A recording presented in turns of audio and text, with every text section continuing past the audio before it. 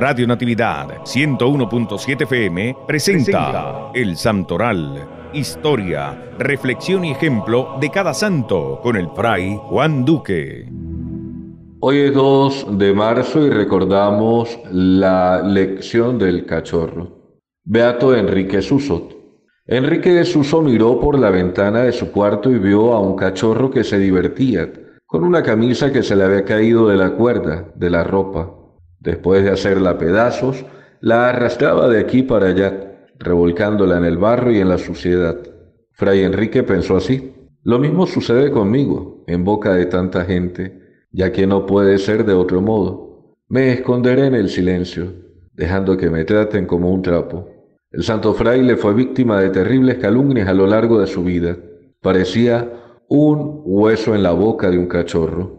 En una ocasión lo acusaron de haber robado objetos en una iglesia.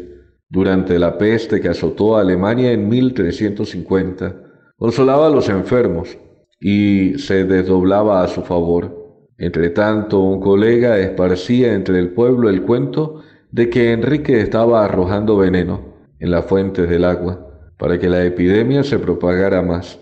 Los moradores, creyendo en la calumnia, quisieron linchar al fraile con palos y piedras.